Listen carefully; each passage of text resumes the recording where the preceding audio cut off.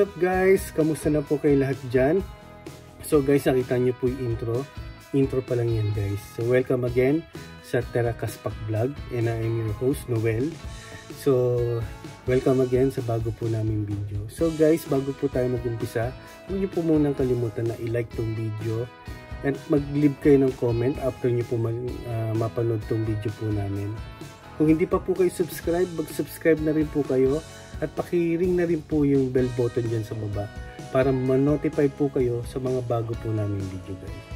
So guys, naalala niyo po ba yung drone na pinalipad ko po doon sa bundok? So ito po yung clip niya. Panoorin po natin.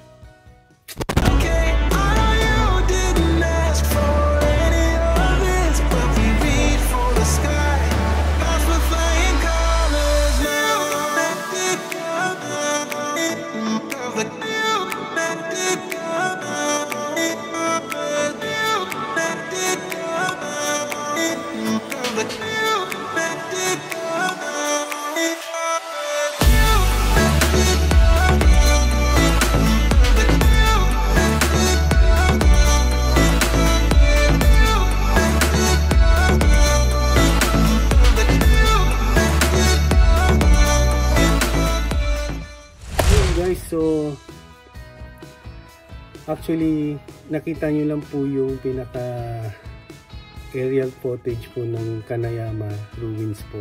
Pero hindi ko pa po kayo totally napapasyal po doon. So in this video guys ipapasyal ko po kayo kung ano po itsura ng buong paligid ng Kanaya, Kanayama ruins. So tara guys akitin natin yung bundok. Samahan niyo po. Let's go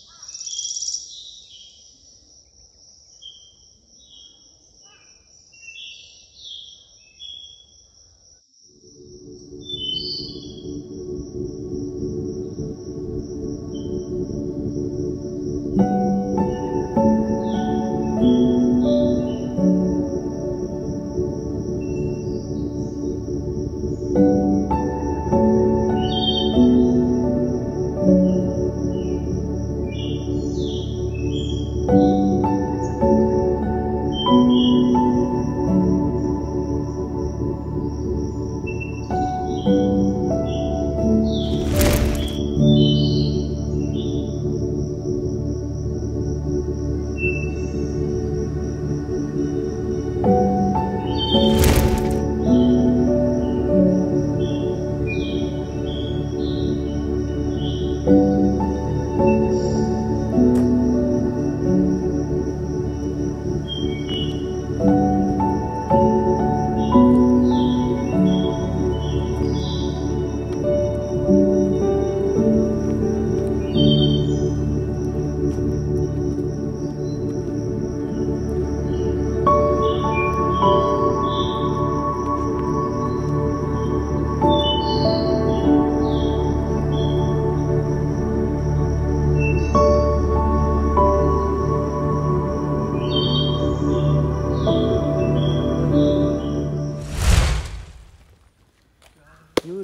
again guys. So finally, na-reach na po natin yung isa sa mga magagandang spot po dito sa Kanayama Castle Ruins.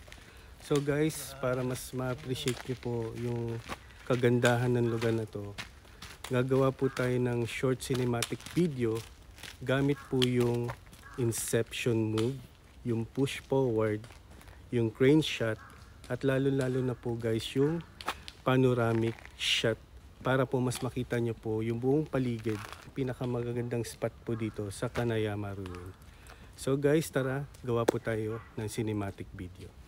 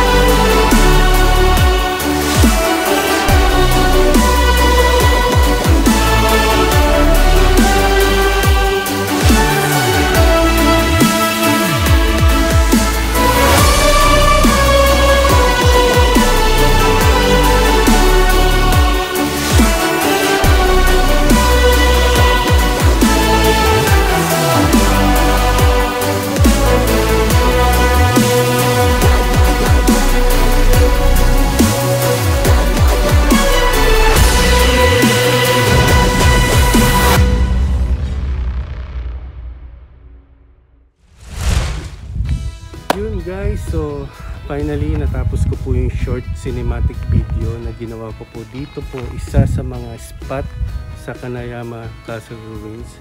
Guys, kung nagustuhan nyo, please leave a comment at kung hindi naman, mag-leave pa rin po kayo ng comment at uh, kung may maituturo pa po kayo sa akin, please turuan nyo po ako kung paano pa po mas mapapaganda yung paggawa ng cinematic video guys.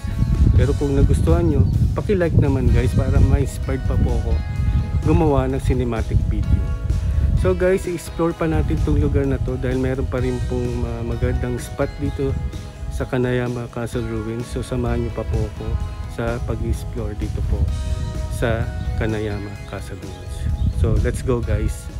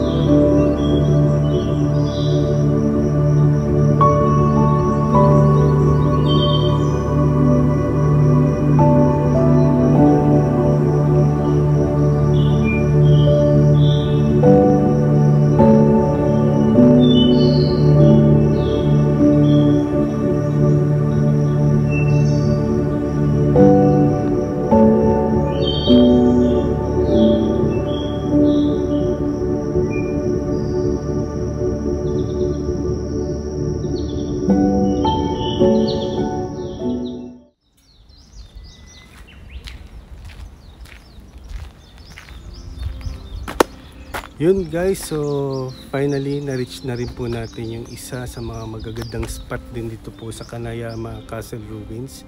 Yung overlooking guys, kung nakikita niyo po dito po sa aking likod, yung buong city ng aming lugar dito po sa, sa Japan. So guys, ito po pumupunta kapag uh, gusto ko mag-meditate, kapag uh, gusto kong magka, makapag-isip na maayos ayos. So dito lang po ako pupunta guys. At dito na rin dito rin po ako naglalakad every morning para ta, uh, bawas taba na rin guys. So guys kung makikita niyo po yan. Yung mga hikers din guys yan. Kapag uh, na-reach na po nila tong lugar na to andyan po sila nakaupo at uh, nagpapahinga. At uh, at uh, after noon maglalakad na naman po sila ulit. So ako guys uh, uuwi na po ako. So habang pauwi guys i-edit ko na po tong video na to. Gamit po ang power director. So kung wala pa po kayo na ito, nito guys puntahan nyo lang po yung Apple, uh, yung Apple Store and especially yung Play Store. At i-download nyo lang po yung Power Director So on the go na to guys. So habang naglalakad ako pa uwi, i-edit ko na po itong mga shots or yung mga video na tinake ko po dito sa Kanayama Ruins para po makita nyo na po ito buong buo kapag ka pinost ko na po to sa YouTube. So let's go home guys.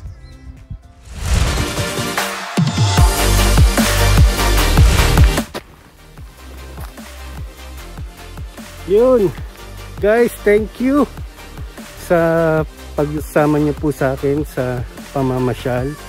I hope na nagustuhan niyo po yung pag tour ko sa inyo dito po sa Mount Kanayama Ruins.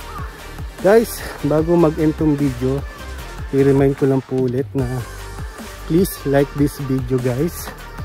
Please leave a comment kung nagustuhan niyo po itong uh, pamamasyal natin dito po sa Mount Kana Kanayama Ruins. And especially kung di pa po kayo subscribe sa aming bahay sa aming channel please subscribe na po kayo para marami po tayong mga bagong kaibigan na tatangkilik po at makakasama po namin sa journey po namin dito po sa YouTube. So guys thank you again. So talagang wala akong masabi sa kagandahan ng gawa ng ating Panginoon. So, mahalin natin ang ating mga nature guys. Huwag tayong magtapon ng basura. Huwag natin putulin guys yung mga puno. Dahil kung wala sila, hindi tayo, hindi tayo makakahinga ng mabuti guys. So guys, again, ingat po kayo parate. At uh, lagi nyo lang po sundin yung protocol na maging malinis sa katawan eat healthy foods guys. Especially always pray sa ating Panginoon. Again guys thank you. We love you all. God bless. See you again sa next video po namin. Bye guys